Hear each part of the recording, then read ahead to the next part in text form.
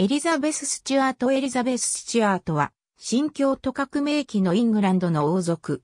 スチュアート朝出身で、父はイングランド王チャールズ一世、母は王妃ヘンリエッタ・マリア・オブ・フランス。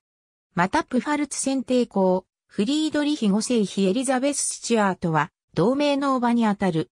1635年、チャールズ一世とヘンリエッタ・マリア夫妻の次女として生まれた。兄にチャールズ二世、ジェームズ二世、弟にグロスター公ヘンリー、姉にオラニエ公ウィレム二世妃メアリー・ヘンリエッタ、妹にオルレアン公フィリップ一世妃ヘンリエッタ・アンがいる。フランス王ルイ14世は母方の重帝でイングランド王権オランダ総督ウィリアム3世は老いに当たる。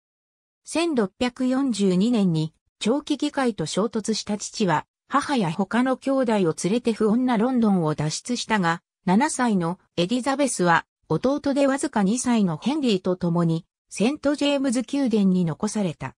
それが災いし、第一次イングランド内戦では、議会派に、弟ともども人質に取られ、ノーサンバランド博アルジャーノンパーシーに養育された。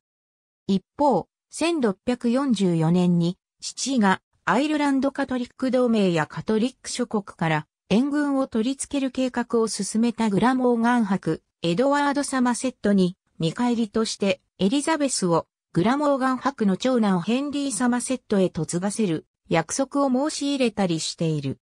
1646年に内戦が議会派勝利に終わると、オックスフォードからセントジェームズ宮殿へ送られた実刑、ジェームズと共に人質生活を続け、1649年1月30日に処刑された父と最後の別れをしたただ一人の身内だったが、直後に議会派に捕らえられワイト島、カリスブルック城で軟禁された。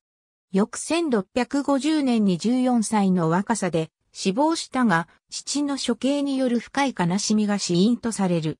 友清 P4、ガードナー P126、ウェッジウッド P135、ガードナー、P319、P321、P382、森、P416、ともきよ、P6、P7、P21。ありがとうございます。